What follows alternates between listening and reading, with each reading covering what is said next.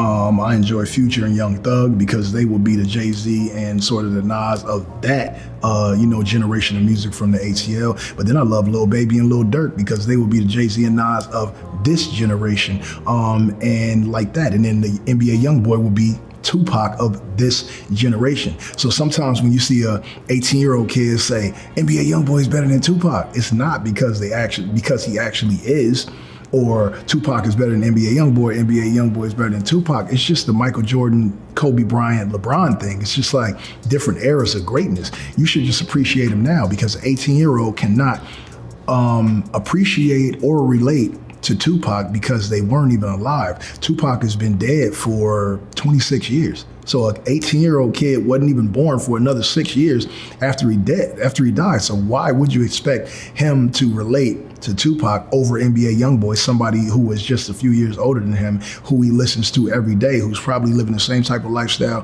that you know he's uh, you know that he's living.